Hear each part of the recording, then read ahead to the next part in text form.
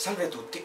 oggi sono all'interno del modulo di comando e di servizio dell'Apollo 11, questa famosa astronave americana che ha segnato profondamente il, il secolo scorso, permettendo all'uomo di raggiungere la Luna per la prima volta. E questo perché voglio parlare di un argomento e di una persona che eh, è in un certo senso di attualità, e cioè di ieri la, la notizia della morte di eh, Neil Armstrong, che è stato appunto il primo astronauta del gruppo del, del, dell'equipaggio dell'Apollo 11 a sbarcare sulla Luna, a mettere il famoso piede, il primo piede sulla Luna e dire la famosa frase che tutti conosciamo, questo è un piccolo passo per un uomo ma un grande passo per l'umanità. Di cosa voglio parlare? Voglio parlare mh, mm, prima di tutto del fatto che c'è ancora e comunque continuano a girare le idee del complotto, del fatto che, saremo, che gli americani non sarebbero mai andati sulla Luna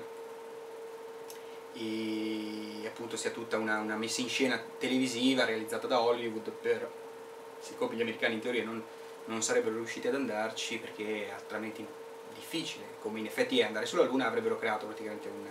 un fake cinematografico. Eh, su questo argomento si, si, si, sono espresse persone che conoscono meglio di me l'argomento e invito ad andare a vedere tra gli altri un bellissimo documentario di Discovery Channel in cui vengono prese singolarmente tutte le obiezioni che vengono fatte dai complottisti e a ogni obiezione viene data una risposta, dal fatto che non ci siano stelle nel, nel, nel cielo delle, delle, foto lunari, spiegando appunto come sa ogni fotografo che eh, questo dipende dall'esposizione, oppure dal fatto che ehm, eh, le obiezioni sono state tante, ma il fatto per esempio che ci siano le ombre che non sono parallele, e questo se noi andiamo a vedere sulla Terra anche benché ci fosse un'unica fonte di sole, quindi il sole,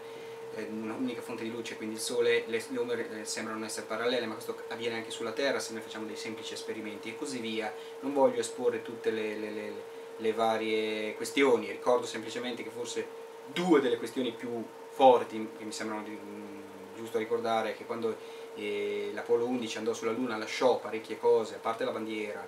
a parte la placca, a parte il rover, cioè questa macchinetta con cui si spostavano, eh, ma l'EM, cioè il modulo di allunaggio, dovete lasciare il, dire, i piedistalli di atterraggio appunto sulla Luna.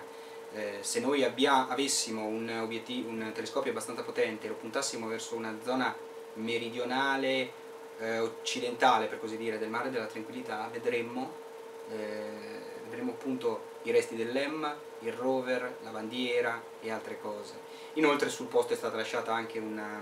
uno specchio riflettente che viene usato dal, dagli scienziati americani per calcolare continuamente la distanza Terra-Luna e altre, altre caratteristiche. Questi sono tutti dati di fatto concreti che si trovano sulla Luna e sono stati portati fisicamente dall'uomo poi tra l'altro.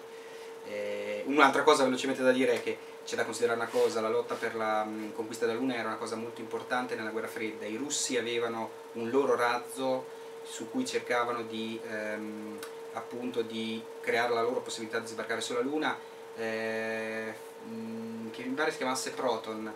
E il Proton che venne sviluppato all'inizio da Kirillov mi sembra che però morì durante il progetto il, gra il, il grande genio della, della, della, missilistica russa come in America invece c'era mm, c'era quel, quello scienziato tedesco, adesso non mi ricordo il nome, che curò molto il discorso della, del progresso portò, de, de, della missilistica russa che portò poi alla realizzazione del Saturn 5 che fu poi il cavallo da, da tiro di tutte le, le, le missioni lunari. Ebbene, se i russi che non ce la fecero, alla fine mandarono solo una sonda per sfidare gli americani, ma non mandarono un equipaggio umano perché il Proton appunto eh, fallì in maniera anche devastante, perché ci furono molti morti durante un tentativo di lancio del Proton, se i russi o anche i cinesi, i russi soprattutto, i sovietici, avevano i mezzi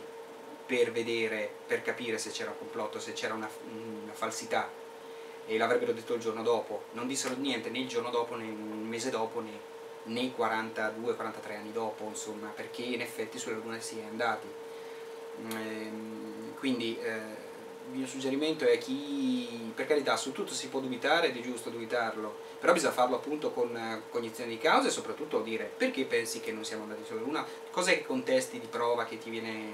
ti viene data. Ecco, come dico, ci sono ottime eh, contro risposte in un documentario di Discovery Channel che si intitola appunto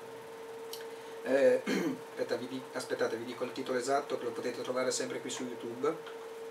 È in italiano, basta cercare Discovery Channel, la verità sullo sbarco della Luna, sulla Luna. che secondo me è abbastanza buono perché praticamente controbatte tutte le obiezioni. Eh, questo per quanto appunto riguarda il fatto che siamo andati o non siamo andati. Ribadisco che secondo me è stato un momento epocale, perché se noi pensiamo a che cosa ha significato, le difficoltà enormi, non solo nell'Apollo 11 e per arrivare all'Apollo 11, che è stato un processo lungo almeno 10 anni con un investimento enorme, ma anche il fatto che comunque il fatto che non fosse una cosa semplice si vede nella missione Apollo 13, che eh, appunto durante il viaggio ebbe un incidente tanto grave che la costrinse sì a arrivare fino alla Luna, ma non ad atterrare e tornare indietro con il rischio di non, di non portare l'equipaggio vivo sulla Terra. Quindi è un, sicuramente un momento importantissimo della storia umana che rimarrà come grande successo del, non solo dell'America, perché credo che appunto partecipò questo tedesco e altre personalità, ma credo che sia un, un monumento alla,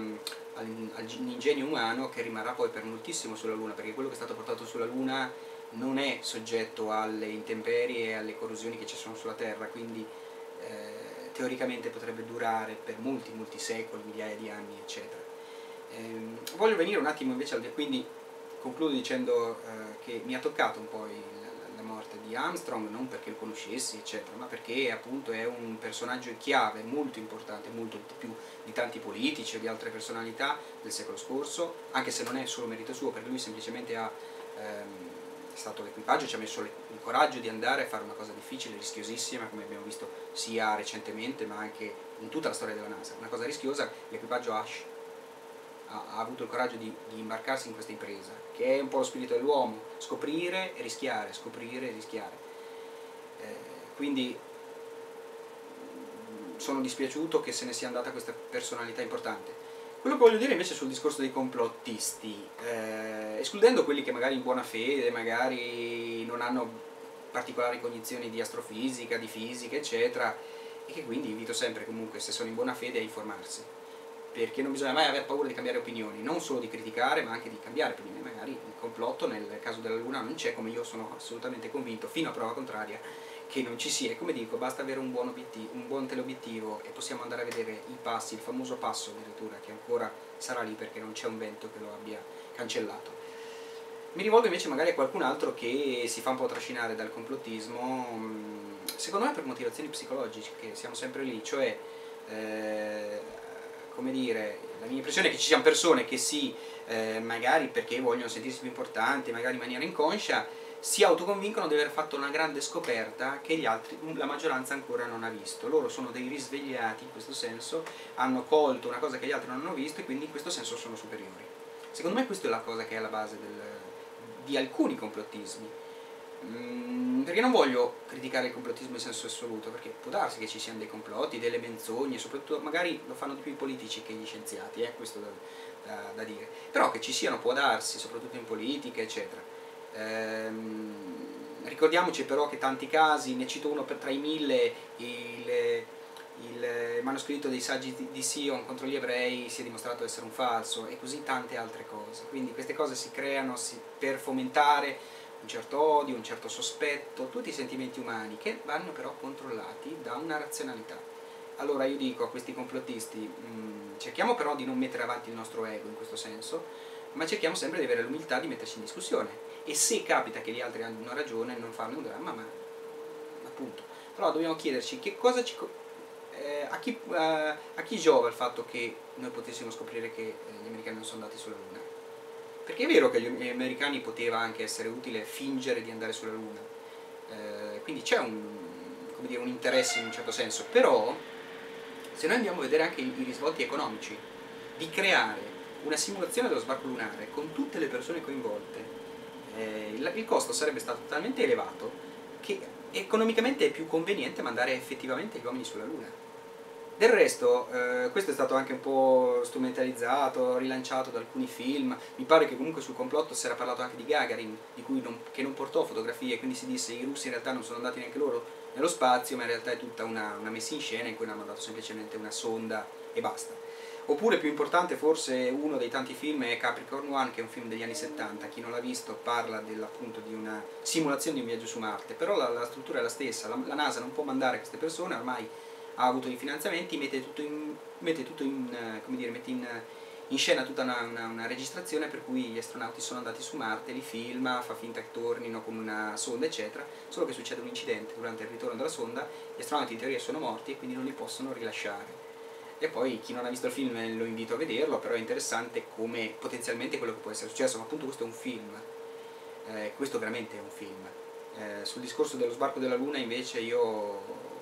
non solo credo, ma ci sono gli elementi scientifici per dimostrare che questo è avvenuto e io ribadisco è una volta tanto una prova del, del genio, della, delle capacità umane eh, straordinarie, perché siamo l'unico animale di questo pianeta che è riuscito a, eh, con successo a fare un viaggio al di fuori di questo pianeta, quindi un altro corpo celeste per quanto vicino, eh, e tornare eh, sani e salvi a terra.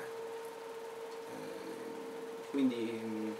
questo è il mio pensiero in merito. Io spero che su questo comunque ci sarà un dibattito, vi ringrazio per avermi seguito eh, e vi saluto dal modulo di controllo o, e di servizio dell'Apollo 11. Salve a tutti!